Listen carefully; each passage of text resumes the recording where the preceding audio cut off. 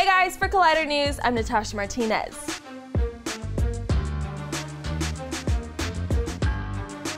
Marvel and ABC Studios are still pushing to churn out TV projects. Agents of S.H.I.E.L.D. is still on the air, but Agent Carter was canceled, and Marvel's Most Wanted didn't get picked up, so now the two studios are changing things up by pursuing a half hour comedy series called New Warriors.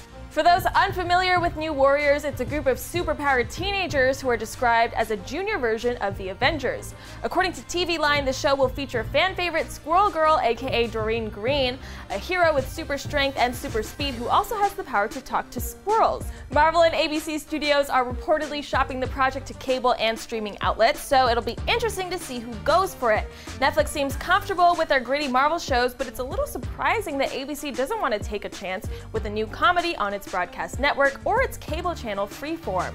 As we all well know, there's very little sharing going on between Marvel Studios and Marvel TV. Some may see that as a hindrance to a big crossover universe, but a show like New Warriors could use that to its advantage and just have fun with what the Marvel Universe is offering rather than trying to play by the rules established by existing movies or TV shows. For all the latest on this new Warrior show as the project develops, head on over to Collider.com and be sure to subscribe to the Collider Videos YouTube channel to keep up with all the must-know TV and movie news.